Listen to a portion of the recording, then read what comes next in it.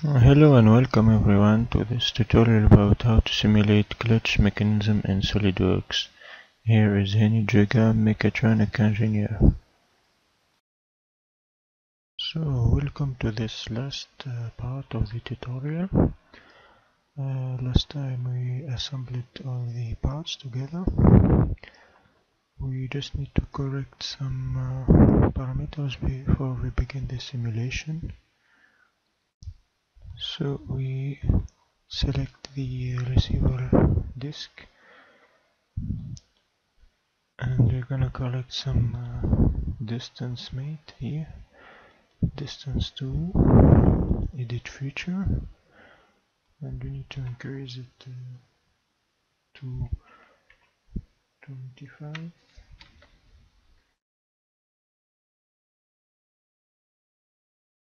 okay it's good maybe too much 20 only 20 okay and we click ok. Now our system is complete. We need to uh, add a final constraint to the swinging movement of the motor shaft. So we need to put a maximum and a minimum. The maximum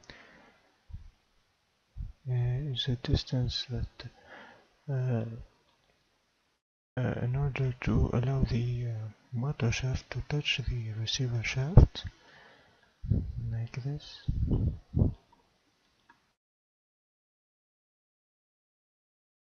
Okay we can measure it.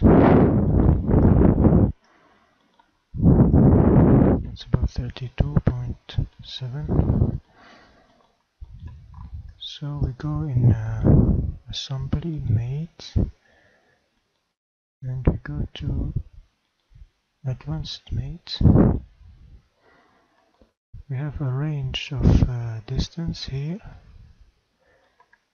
We can put uh, something like uh, 10 or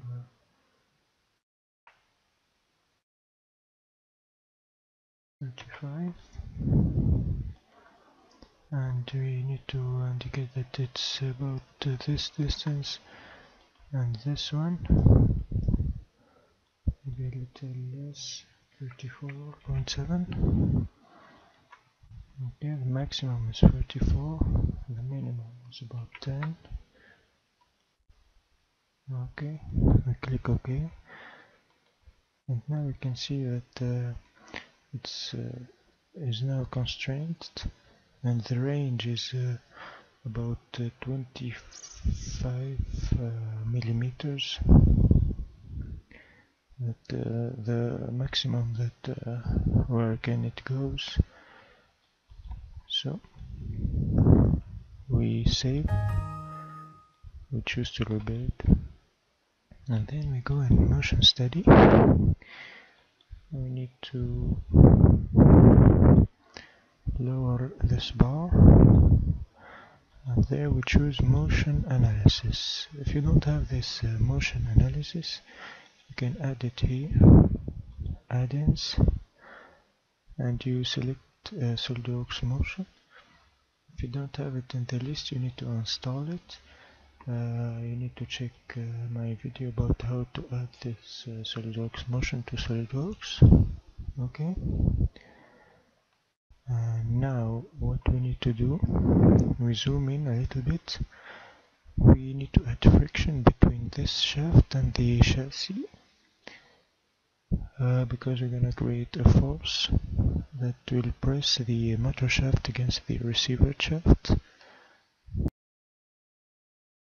to create the um, pressing force. Uh,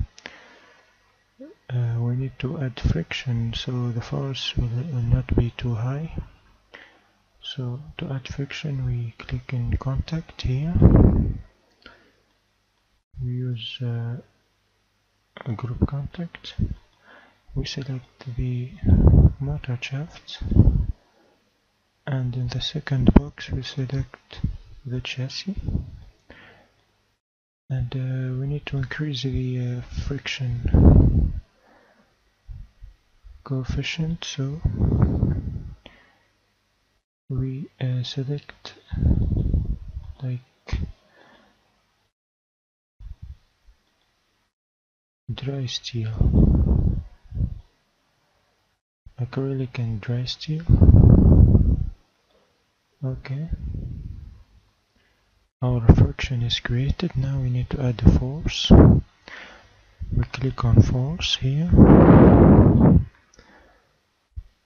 Uh, we select the motor shaft is the part that uh, gonna be moved. And for our direction the second box here we select an edge that is in the same direction as the force.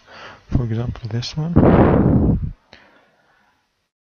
and uh, for force intensity I'm gonna first choose a step. Okay at zero uh, second the force is uh, zero. At uh, let's say 4 second the force will be around uh, 0.2 newton okay our force is created. We're gonna delay the force a little bit in time. So we place a key and then we click off. So the force is to be activated uh, at one second after the delay that we have created. Now we choose to calculate the simulation using this button good. Mm, we can play it another time. Okay. Good. If you like we can uh, decrease a little bit more the force just like 0 0.1 newton. Okay.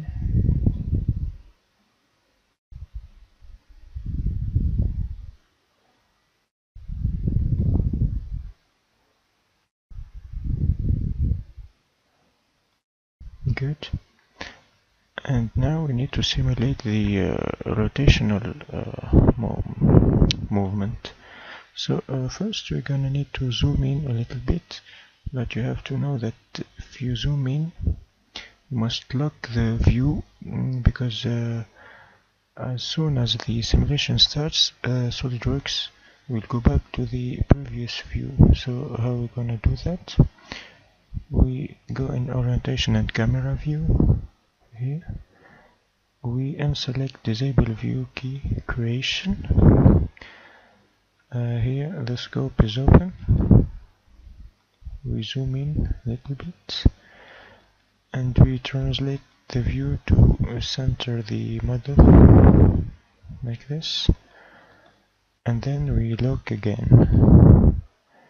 And if you play we can see that uh, the zoom is uh, as we wanted it to be. So you see here in the beginning of the simulation the receiver part is uh, not in motion is fixed. So uh, we're gonna put the motor shaft in motion. How we can do that? We go in motor here. And we select the part that is gonna spin. We can invert the direction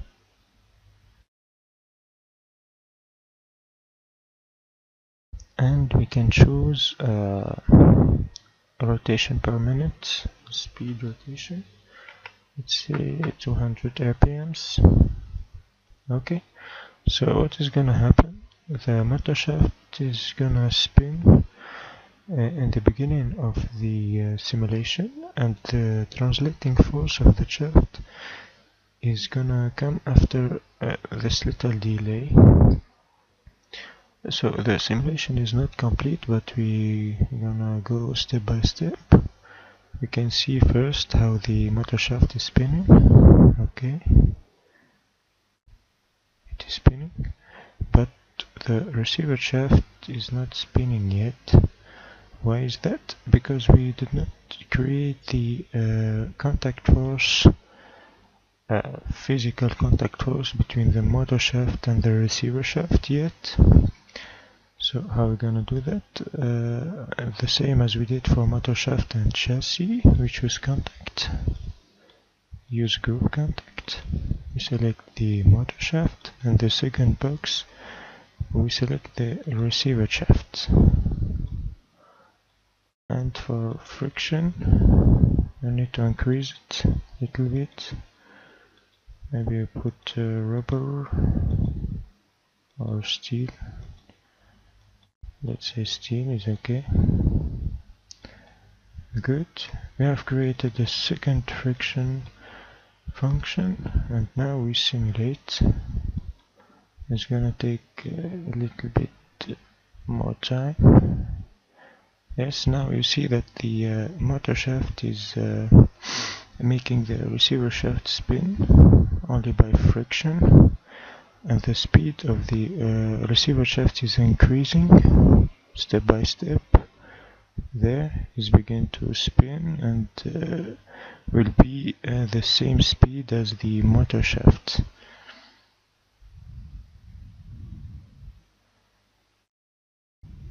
Here we can unselect the uh, loop playback mode